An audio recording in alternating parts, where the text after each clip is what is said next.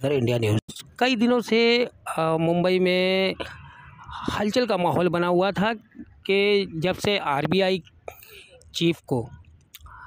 मुंबई में कई जगह कई जगह पे जो है बम प्लांट होने की खबर और ईमेल आया, उसके बाद से मुंबई पुलिस कहीं ना कहीं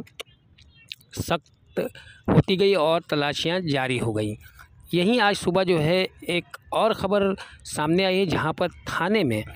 यहूदी स्थल पर बम होने की खबर मिलने से थाने में दहशत का माहौल बन गया और मौके पे बम स्क्वाड और थाने पुलिस के लोग मौजूद हो गए और वहाँ पर तलाश जारी है। फ़िलहाल वहाँ का कैसा माहौल है वो हम आपको दिखाते हैं और किस तरह की कार्रवाई चल रही है वो भी जो आहे दिखाते हैं। तो बंद करण्यात आलेला आहे आणि आतमध्ये जे